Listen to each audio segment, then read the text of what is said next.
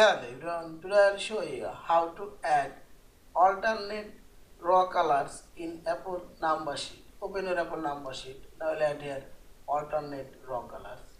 Click on this table and select your table option. This table option. Now here you will find this alternate raw color option. Click here. Save. As is alternate raw color already showing. Also you can see as alternate raw color proper as it says. If you remove this header row, make it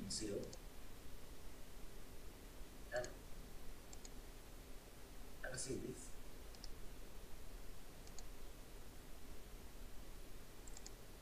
Alternate color already showing here. Again you can see this alternate raw color and see this yeah this is.